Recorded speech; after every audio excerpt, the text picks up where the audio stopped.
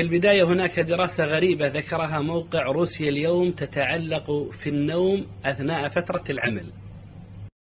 تقول هذه الدراسة إنه لا بد من النوم أثناء فترة العمل لأن هذا يساعد على الإيجابية في العمل. النوم كما تعرفون له أخبار في القرآن والسنة وعند العرب في أخبارهم وفي أشعارهم وهو أمر يطول جدا. وحياة الإنسان وعطاؤه لا يمكن أن يستقر إلا بالنوم. وجعلنا, وجعلنا نومكم سباتا كما قال تعالى. ولأن النوم لا بد أن يكون باعتدال من غير إفراط ولا تفريط فإن أولئك الذين بالغوا في النوم صاروا مضرب المثل عند العرب. العرب تقول في المثل أنوم من عبود. عبود استمر أسبوعا كاملا بلا نوم ثم نام أسبوعا كاملا فصار مضرب المثل. وأيضا الفهد الحيوان المعروف هو مضرب المثل عند العرب فقالوا أنوم من فهد لكثرة نومه. الظاهر كل فهد نويم. ومن السنن البشرية أن النوم يكون عادة في الليل ويكون أيضا عند القيلولة. قيلوا فإن الشياطين لا تقيل. والقيلولة مختلف في وقتها والصحيح أنها تبدأ قبل الزوال قبل الظهر وتمتد إلى وقت العصر.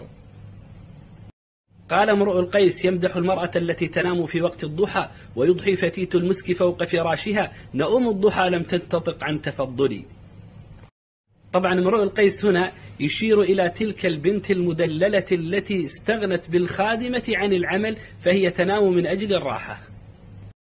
هناك حديث مروي من حديث ابن لهيعة من نام بعد العصر فذهب عقله فلا يلومن إلا نفسه. لكنه حديث ضعيف. ولذا كان الإمام الليث بن سعد رحمه الله ينام بعد العصر ويقول لا أدع راحتي من أجل حديث ابن لهيعة يعني الحديث الضعيف.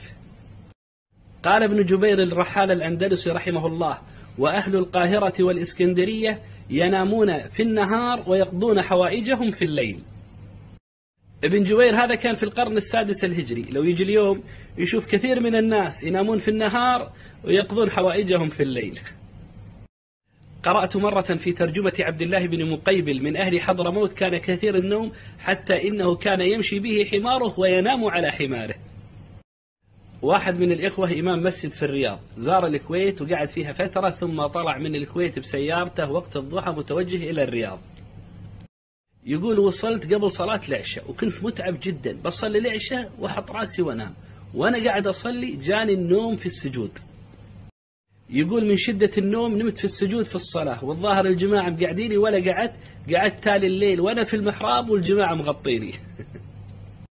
من أفضل ما يعين على النوم الوضوء والصلاة والذكر وترك علائق الدنيا ووخر عن التليفون قبل النوم.